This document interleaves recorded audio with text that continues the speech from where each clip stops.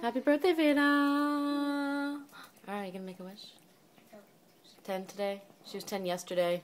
We're having birthday cake for Can breakfast. it out yet? Go ahead.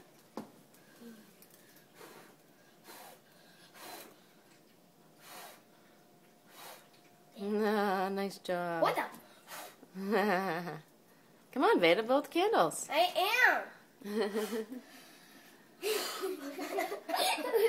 want me to Really, huh? you what they are? They're trick candles.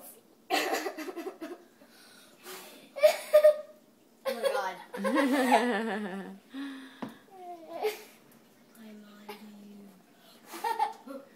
Hey, look at me.